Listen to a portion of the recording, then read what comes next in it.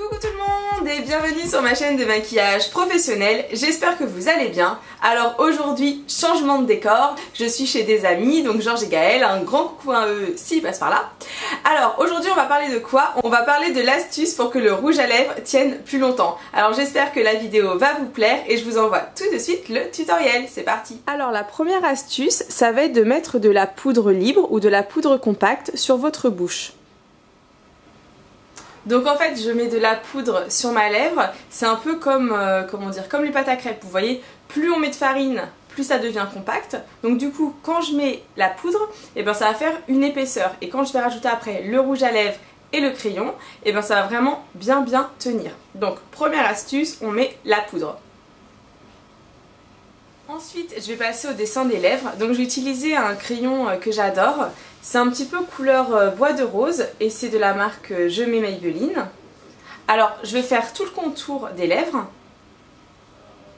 Donc, je pars toujours du cœur. Et je vais jusqu'à l'extérieur, donc jusqu'au coin externe. Ensuite, je fais en bas. Donc en fait ça c'est vraiment le dessin.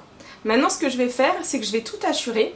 Comme ça quand je vais mettre le rouge à lèvres, ben, la poudre plus le crayon ça va vraiment bien bien tenir. Donc je assure. Et maintenant je vais passer à la dernière étape, c'est l'application du rouge à lèvres. Alors je vais mettre mon rouge à lèvres préféré, c'est celui de MAC et c'est le Pré Saint-Germain. Je l'adore. Bon bah ça j'en mets partout. Alors pour éviter que ça, ça file, en fait vous en mettez plus au centre des lèvres. Et pour finir, une petite touche glamour. Alors j'applique toujours moi, c'est du gloss. Alors le gloss, que je fais en fait, c'est que je le mets juste au centre des lèvres. Comme ça, ça fait un petit côté euh, girly et ça fait pas le truc euh, qui bave euh, partout. Donc j'en mets vraiment légèrement et toujours au centre des lèvres. Comme ça en plus il tient plus longtemps. Comme vous pouvez voir, l'astuce pour que le rouge à lèvres tienne plus longtemps est maintenant terminée. J'espère que ça vous a plu.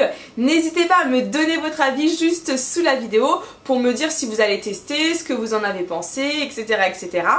Et puis quoi d'autre? Et eh bien si, hein, comme d'habitude, ma petite pub, les nouveaux arrivants, ceux qui viennent d'arriver sur, sur mon tutoriel et qui ne me connaissaient pas, et eh bien si vous avez envie de suivre mes folles aventures, un petit clic juste ici afin de vous abonner à ma chaîne pour suivre bah, mes conseils maquillage, coiffure, revue. Donc un petit clic juste ici et comme ça vous me suivrez.